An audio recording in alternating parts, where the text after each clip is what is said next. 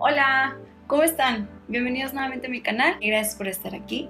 El día de hoy lo quise poner en la sección de tips and tricks, pero es como una pequeña plática sobre los colores que puedes usar eh, según tu tono de piel. Primero les quiero enseñar algo que se llama círculo cromático, algo así. Este lo pueden conseguir en Adosa, cuesta como 120 pesos o en internet hay demasiados. ¿Para qué les va a servir esto? Para poder detectar los colores, con qué los podemos combinar y demás. Tenemos aquí toda la gama de colores. Quiero primero hacerles mención en algo. Tenemos colores cálidos, que son los de este lado, y colores fríos, que son los de este lado.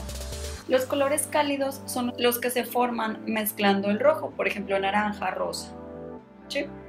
Y los colores fríos son los que se obtienen mezclando con el azul, por ejemplo el verde, el morado. Ahora, en este círculo cromático nos vienen aquí en medio unos pequeños triangulitos y flechitas y la la la para poder hacer combinaciones que se vean padres. Por ejemplo, podemos combinar, bueno, violeta con el amarillo y según esta cosita se va a ver súper cool. Si eres una makeup artist, si tienes un salón de belleza, si esto es tu hobby y quieres como aprender más, a lo mejor te puede servir mucho para crear looks como muy divertidos y muy coloridos. Eso es como un datito extra. Vamos a platicar sobre los tonos de piel y qué colores te, te, favorecen. Vamos a empezar con los colores de piel fríos. Si tus venitas de aquí, de la muñeca, son entre azulitas y moradas, que de hecho las mías sí son entre azules y moradas, tienes un tono de piel frío.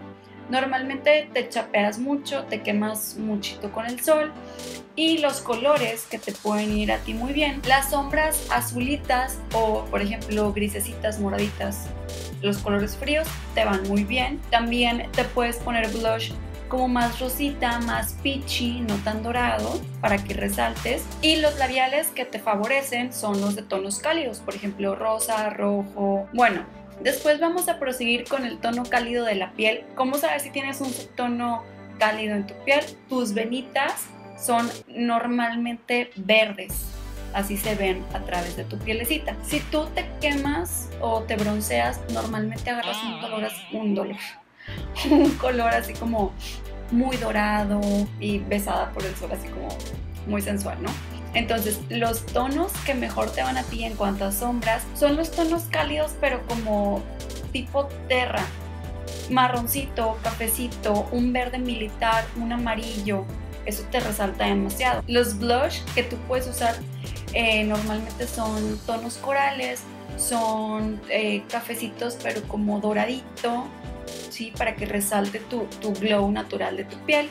Y los lipsticks que te van muy bien son también los cálidos, pero como no tan rojos, sino más naranjita, como los corales, el naranja, a lo mejor un rojo quemadito o un marrón. Esos te van muy bien según tu tono de piel. Ya me escuché hablando, o sea, estaba viendo los videos y parece que estoy diciendo el horóscopo, está súper extraño esto creo que sí son muy informativos y creo que mucha gente tiene estas dudas y por esto lo hago. Pero parece que estoy dando el horóscopo de que cálido. Te van muy bien los rojos. Número la suerte 2. Vamos a proseguir con el último tono de la piel que no es tan común aquí en México, por ejemplo. El, el último tono es pues básicamente una mezcla de estos dos, el frío y el, y el cálido. Es un tono neutro. Esto normalmente no es muy común en México pero, por ejemplo, si tú tienes los ojos de color azules, grises, verdes, pero tienes tu cabello oscuro, puedes tener un, tipo de, de, subtono en la piel neutro. Tus venitas de tu piel tienden a ser de las dos, azules y verdes. Si estás ahorita de que te está explotando la cabeza porque no sabes qué eres y porque tienes de las dos tonos de venas, pues a lo mejor eres neutra, entonces tranquila o tranquilo, relájense un chorro. Los tonos de sombras que puedes utilizar realmente abarcan muchísimo, pueden ir desde los cafés oscuros, verde claro, verde militar, morados, amarillos, naranjas, o sea, puedes usar demasiados porque tu piel es neutra, entonces puedes combinar un poquito de todo lo que ya dije.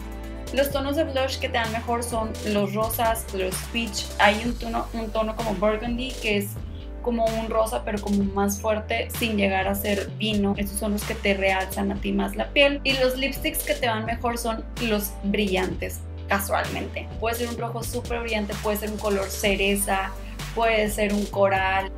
Espero que esta información haya sido útil. Si te gustó este video, por favor no olvides darle like y suscribirte a mi canal antes de que te vayas. También seguirme en mis redes sociales como Liz Guajardo MUA, Liz Guajardo MUA en Facebook, Instagram, Pinterest y obviamente aquí YouTube. Esta información está en mi tablero de Pinterest. Entonces, si no quieres ver este video 800 mil veces para entenderlo, hay un tablero que se llama Makeup Hacks, que es como tips de maquillaje y, algunas ideas que creo yo que ustedes pueden utilizar.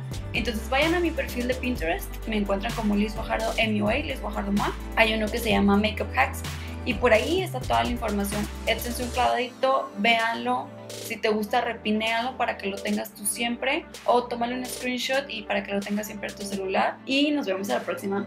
Bye bye.